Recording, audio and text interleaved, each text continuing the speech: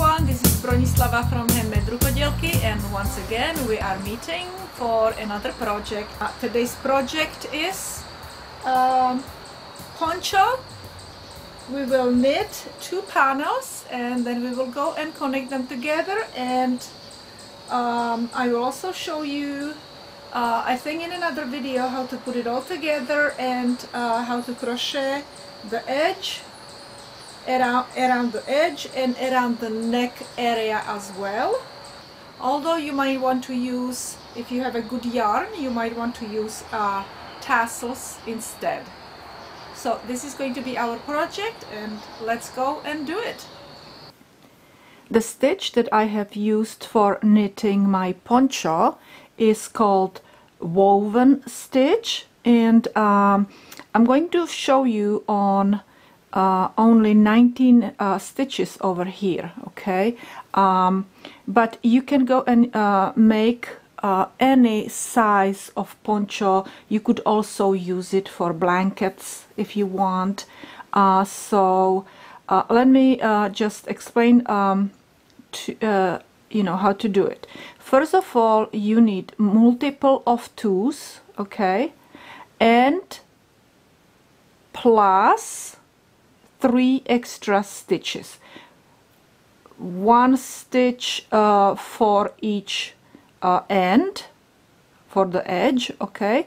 And then excuse me and then you will be really working on uh, on odd number of stitches. This stitch repeats um, uh, every two stitches and also every four rows okay so first what you do is knit one and then you need to slip purlwise with yarn in front. So you will slip purlwise in with yarn in front. And again you knit and you slip purlwise with yarn in front. And now the yarn is back. You knit and yarn forward and you slip purlwise and again you do a regular knit stitch and you slip purlwise knit and slip purlwise with yarn in front knit. Slip purlwise with yarn in front.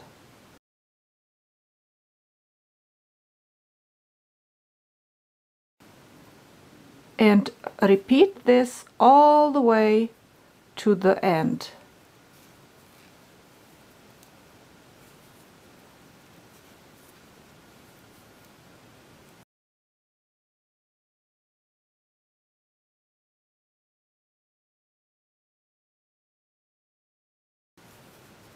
and knit.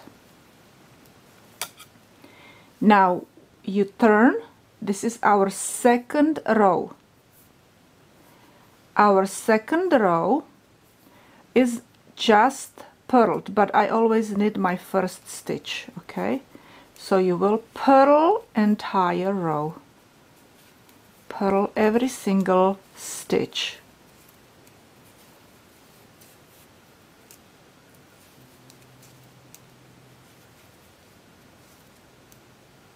and my last stitch purling. Okay. Now we will turn around. My third row I will do the reverse of what I did in row 1 so I did knit slip knit slip. Okay. But in third row I will the the stitches that I was slipping I will knit and the stitches that I was knitting I will slip. So uh, I have to really start this way. Knit knit slip. Knit slip. Knit slip. Knit slip. All the way to end and this one is going to be slip and then I will knit knit. So in a third row always knit first two stitches and then slip and then knit last two stitches okay. I hope that makes sense. So as you know in the first row basically I knit I knitted this stitch and I slipped this stitch right? So I will uh, I always knit my first stitch. And then this one this one was slip but I have to knit it. And this one was uh, uh, knit so I have to slip it. So yarn forward and slip purlwise okay purlwise here like I would want to go and purl the uh, stitch. And again knit and slip purlwise with yarn in the front. Knit and slip purlwise knit yarn forward slip purlwise knit and slip with yarn in front. Knit and slip knit and slip. Knit and slip. And we will knit these last two stitches. We don't want to knit and slip okay? We will knit and knit. Okay? And now our fourth row. And our fourth row is going to be purl so we need to purl entire row. So purl and purl and purl. Purl all stitches.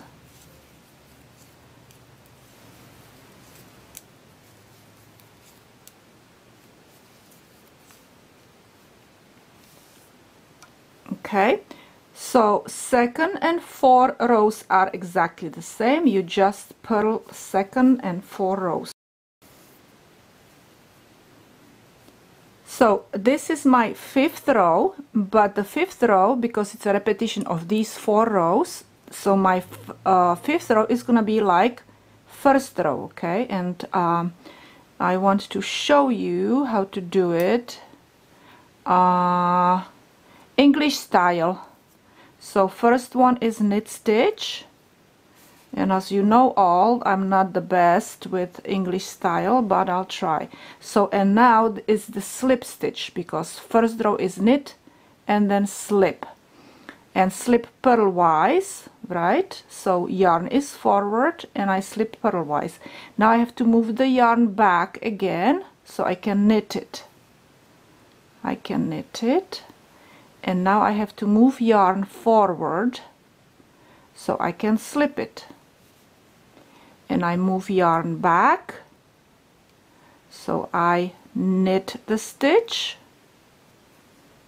and yarn forward and slip the stitch and yarn back and knit the stitch and forward slip and back and knit it. Uh, I'm getting pretty good at this English style.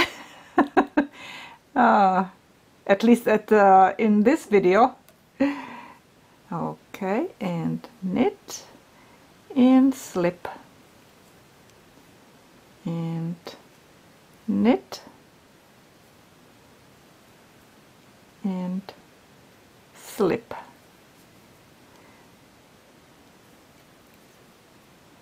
And so, um, and then we will again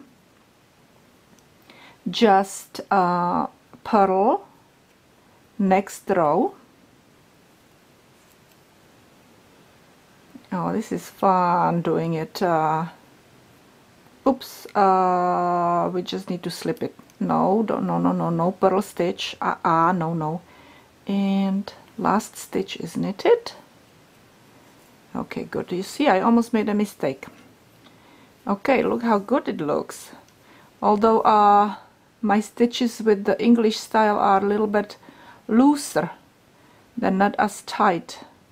Sometimes I make it too tight sometimes you know I don't know. Um, I still cannot go and uh, do the really good tension with my um, English uh, style. Okay so now we need to purl all the stitches okay so yarn is yarn has to be in the front. And we need to purl all the stitches. Okay. Yarn will be in the front and we purl all the stitches.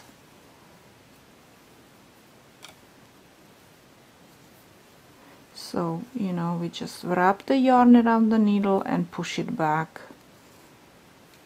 okay and I will speed up the video so it's not too long because it can be really boring of too many repeated uh, stitches. Okay and we are ready to do our next row which since we did this as first row we need to do this as third row okay? So when we were doing third row we always started with two stitches and end up with knitting two stitches at the end and in between we did uh, slip purl slip purl okay? So we will knit first stitch and knit second stitch. Let me tighten this up a little bit so the end is not too loose. Okay and now we need to slip. So we did knit knit and then slip. And and now we will do um, alternate knit stitch and slip stitch. And with yarn in the front right? And knit stitch with yarn in the back. And yarn forward and slip it. And knit it. And now we will slip stitch and we will knit stitch with yarn in the back and yarn forward and slip it slip it purlwise and knit it and slip it purlwise. You see, this is purlwise. I did not explain this. This is purlwise. That would be this would be knitwise. Okay. And knit stitch. And I got lost in my thought here. And slip it and knit it. And slip it and you see and now last two stitches we will just knit knit and knit and that's all to it so this is the stitch for our poncho. Uh, let me go and uh, knit a few more rows and then I will uh, show you how it really looks uh, so you have some kind of idea. So here is my sample that I have uh, done for you and we started over here right? And then after I finished knitting these I decided that I will show you other variations.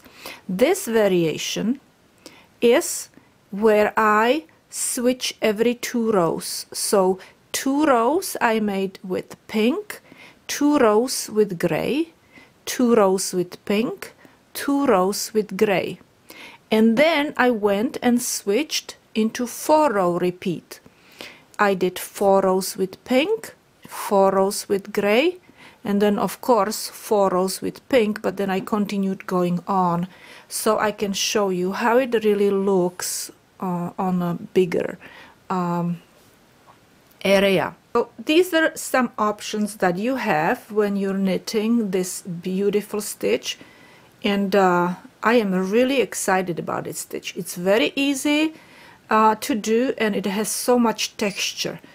So I'll be using it in my future designs as well. Now here I have two pieces that I have already knitted and this is going to be turned into a poncho. So you can see that they are long already okay? And um, they are going to be those two rectangles attached to each other.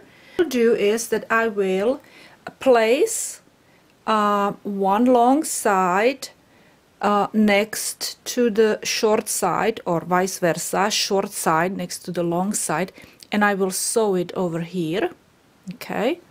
And then I will fold this like this and sew to this long side. I will um, sew this short side to this side. I will sew it in and this will be my uh, opening for the head and this is gonna be my poncho. I started this poncho on 41 stitches okay which actually made it uh, to about 10 inches wide. And then I knitted I knitted I um, forgot how many um, rows I somewhere around 80 I think. But my length entire length is uh, 16 inches. This is conclusion of my first video. Now you can go and watch uh, video part number two where I am putting everything together. Uh, thank you very much for watching my video. Share it please and I will see you another time.